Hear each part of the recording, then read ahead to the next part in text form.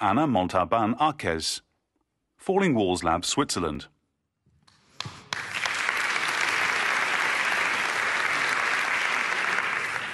Good afternoon, everyone.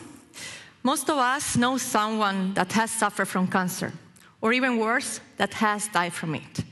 And this is because, in fact, only in the last year, there were more than 19 million new cases of cancer reported worldwide.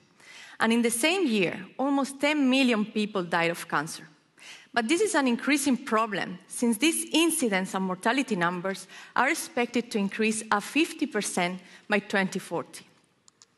Although in the last years the therapies have improved, they still present a limited efficacy in many patients. And one of the reasons behind is the severe side effects that these therapies cause when increasing the dose, which include hair loss, nausea, fatigue, and infertility. Therefore, there is an urgent need for the development of new therapeutic options for cancer patients. In our lab, we found out by performing metagenomic analysis of human studies, including five different geographical regions, that there are certain bacterial strains that are drastically reduced or even depleted in colorectal cancer patients compared to healthy individuals. And therefore, we wonder whether we could give back to those patients what they are lacking in order to treat or even prevent the development of colorectal cancer. To test our hypothesis, we performed extensive in vivo studies using mouse tumor models.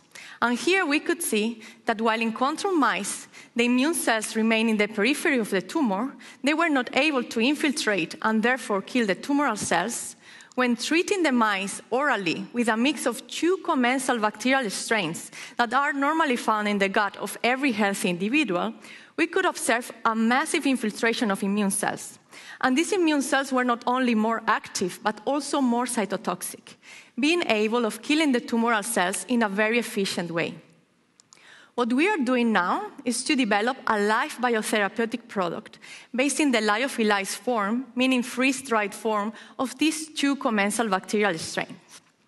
And why lyophilized? Because it presents a high stability, a long shelf life, and an easy administration, since we are talking about an oral therapy making it also more accessible to those patients with a limited access to hospitals.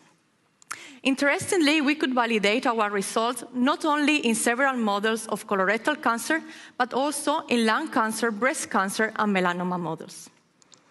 In summary, our ultimate goal is to provide cancer patients with a more effective and a more accessible therapeutic option while minimizing side effects, since our novel therapeutic approach is purely based on commensal bacteria. Thank you very much.